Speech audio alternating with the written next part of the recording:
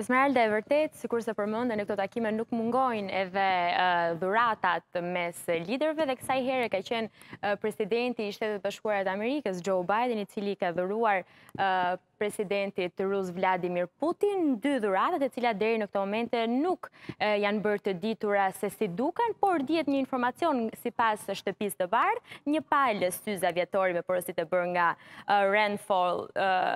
të cilat vijnë nga Shtetet e Bashkuara të Amerikës dhe njëkohësisht dhe një skulpturë kristali të një bizoni amerikan. Syzet nuk nuk janë bërë të ditura se si mund të duken, por sipas përshkrimeve dhe informacioneve janë një palë të ngjashme si ato të cilat presidenti amerikan Joe Biden shpeshherë në daljet e tij publike vendos dhe duhet thënë një informacion lidhur me këto syze, kanë një partneritet me ushtrinë amerikane që në vitin 1978. Kurse përsa i përket dhuratës së dytë dhënë ndaj presidentit rus, është një skulpturë kristali të një bizoni amerikan, e cila ka një simbol mjaft të rëndësishëm për kombin amerikan, që është është një përfaqësues i forcës, unitetit dhe qëndrueshmërisë. Disa detaje lidhur me këtë